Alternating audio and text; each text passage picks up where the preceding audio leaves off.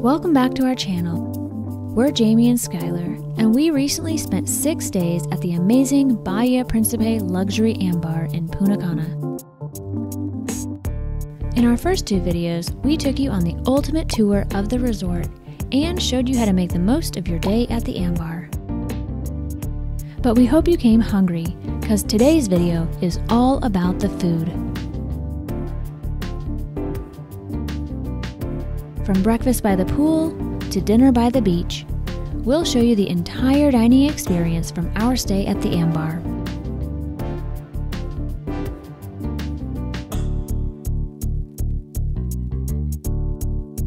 And what a better way to get this video started than with breakfast by the beach at Las Brisas. Here you can begin your day with a Bloody Mary, mimosa, fresh juice, or coffee while you await your order from the a la carte menu. Breakfast diners at Las Brisas will find the menu to include a variety of breakfast options in both English and Spanish. The menus for each Ambar restaurant can be accessed on your electronic device by scanning a QR code found at each restaurant's entrance. Skylar's breakfast favorites at Las Brisas included the Eggs Florentine, Eggs Benedict, and of course, extra bacon. My favorites included the stuffed French toast, stuffed croissant, and for a healthier option, the gluten free breakfast. And while the food at Las Brisas is great, our favorite part of breakfast here was without a doubt the views, as diners can enjoy their breakfast poolside or beachside. Diners who prefer a buffet experience for breakfast will find just that at Palmyra, located in the lobby. Upon entering Palmyra, we were provided with a plastic glove to be worn when serving ourselves at the buffet. Like Las Brisas, guests at Palmyra can start their day off with a mimosa or Bloody Mary before helping themselves to a wide selection of breakfast food items. Sweet lovers like me will find plenty of pastries and donuts to choose from, while carnivores will find no shortage of breakfast meats. And while we did find the breakfast at Palmyra to generally not be as appealing as the made to order items at Las Brisas, we were happy to find freshly prepared omelets, eggs benedict, a potato and egg skillet, and even hard boiled quail eggs. But our favorite breakfast item at Palmyra was easily the fresh fruits, which can be enjoyed as a juice or even on pancakes, French toast, or a crepe.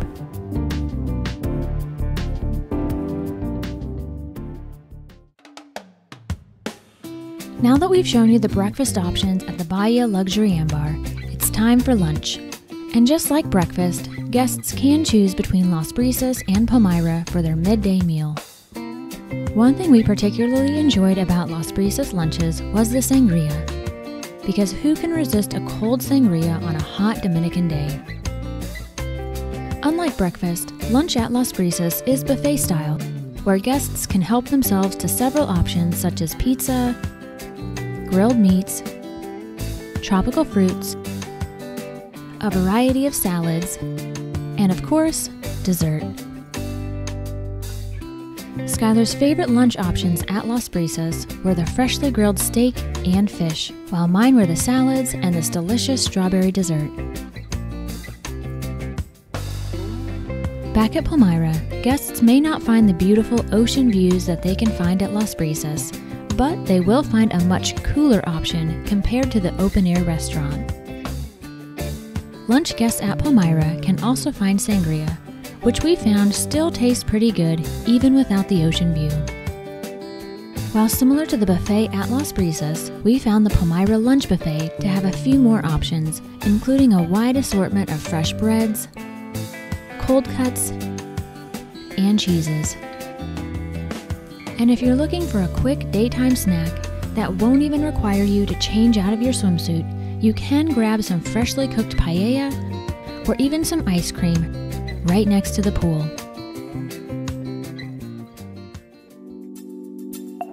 Now that we've explored your breakfast and lunch options, it's almost time to check out the amazing a la carte dinner restaurants. But if you find the restaurants are all booked up, or if you just prefer a more casual dining scene, the sports bar may be the right spot for you. Located on the west end of the property, near the lobby, the sports bar offers guests a comfortable, air conditioned bar with a good selection of drinks and a few food options, including wraps, sandwiches, burgers, and wings. Our favorites from the sports bar were the dirty martinis and the wings, which were sweet, crispy, and delicious. And while we weren't able to get them on video, we also really enjoyed the mozzarella sticks. Now that we've checked out the sports bar, it's time to get dressed to impress because next up we're heading to Limbo.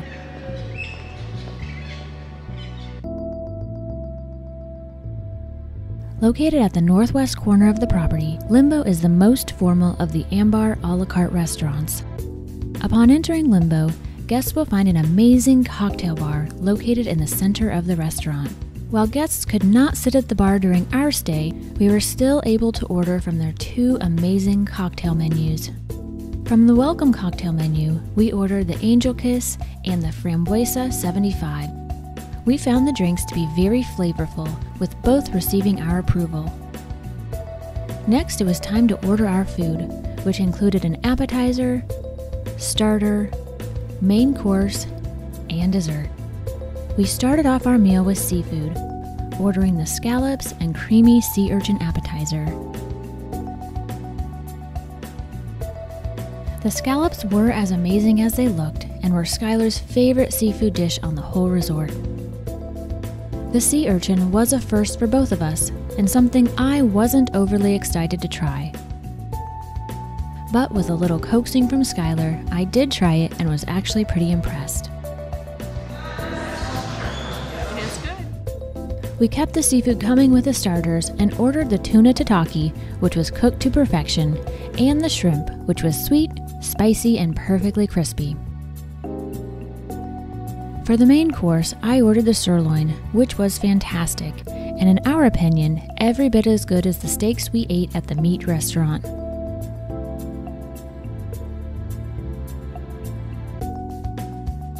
Skylar ordered the turbot, but only because the lamb dish was not available. While the mild whitefish was quite good, it was a slight disappointment as we had both been excited to try the lamb. Next up was dessert, where we ordered the chocolate textures and the lemon cloud.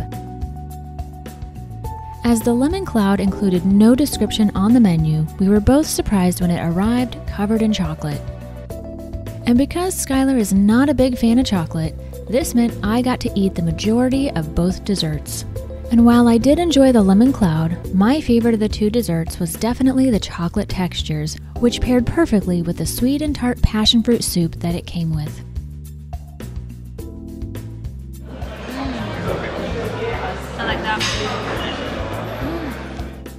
Last but not least came the after dinner cocktails, of which we had a selection of six to choose from. We had a hard time choosing just two, but ended up going with the ultimate margarita and the Passion Cafe. The margarita was fantastic and a level above those that you'll find at the beach or pool bars. The Passion Cafe combined the flavors of rum, coffee, and passion fruit. And while we weren't quite sure how these flavors would pair, it ended up being Skylar's favorite drink of the evening. Our next dinner experience takes us to Las Olas Beach House, located just off the southeast corner of the Ambar property. Here you'll find the seafood, Mexican, Greek, and Indian restaurants. And since Skylar and I both love Indian food, Tali Indian was at the top of our list.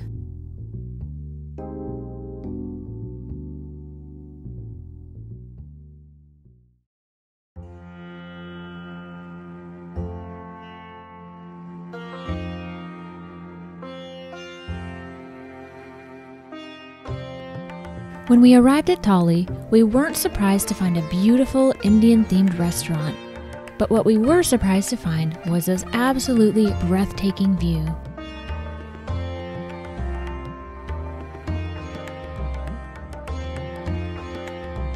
Needless to say, we were both pretty excited for the opportunity to dine with an ocean view at sunset. And since we had arrived a few minutes before our reservation, we even had some extra time to soak up the view.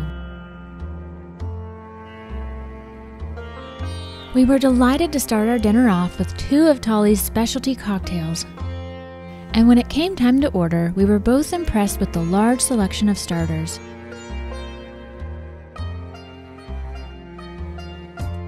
We kicked off the food portion of the meal with the chickpea samosa and the tandoori chicken, both of which paired perfectly with the specialty cocktail and amazing ocean views. Next up were the main dishes, from which we struggled to choose just two of the eight options. We eventually selected the butter chicken and the lamb rogan josh.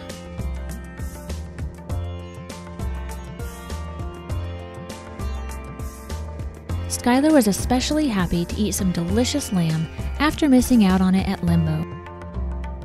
And I was a big fan of my butter chicken as well.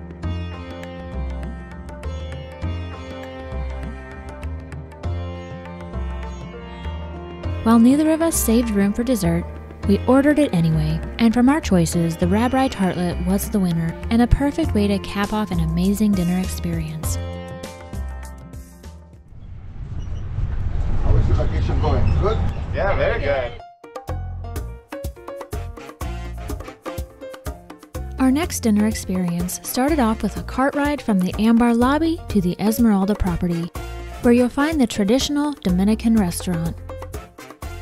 Our meal at the Dominican restaurant started off with more specialty cocktails and beachfront views.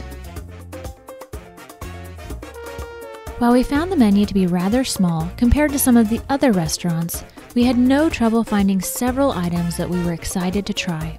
We started our order off with the banana, yucca, and sweet potato chips, which were crispy and delicious. Next up were the yucca dumplings, stuffed with stewed meat, and the banana dumplings, stuffed with crab. And while we both thought the crab stuffed banana dumplings were really good, we were absolutely blown away by the yucca dumplings, which we both agreed were the best of all of the appetizers we tried at the Ambar. Next up were the entrees, which included five options to choose from. I ordered the traditional mofongo, which came topped with several shrimp and a delicious white shrimp sauce. Skylar was excited to order the whole fried fish, and while we have no idea what kind of fish it was, we do know that it was huge and delicious. Next up were the desserts, which we once again had five to choose from. Skylar ordered the tres leches, which we both thought was pretty good. But Skylar much preferred the shot of Mama Juana, which is not something he ordered or needed, but certainly did enjoy. My dessert order was the pina colada, and while it was not at all what I expected, it was equal parts adorable and delicious, and was my favorite dessert of the whole trip. While we didn't know quite what to expect from the Dominican restaurant starting out, it ended up being one of our favorite dining experiences and one that we'd highly recommend.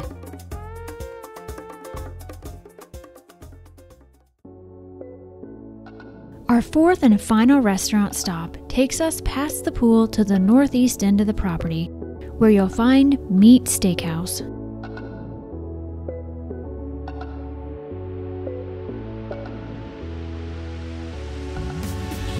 Because we read such great reviews of meat before visiting the Ambar, we actually booked this one twice. Both meals at Meat started off with a bread basket, and you guessed it, another delicious specialty cocktail. Next up were the appetizers, of which we had six to choose from.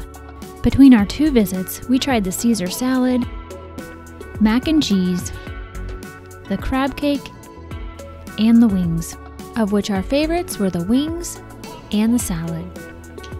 Next up were the main courses, which, as expected, included lots of meat.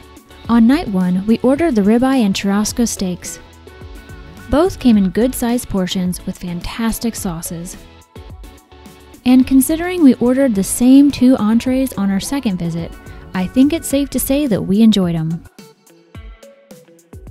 And because we can't end our last dinner at the Ambar without dessert, we ordered the lemon pie and the double chocolate brownie. While Skylar was once again unimpressed to find that his lemon dessert came with chocolate, I was more than happy with my brownie, which was nothing but chocolate.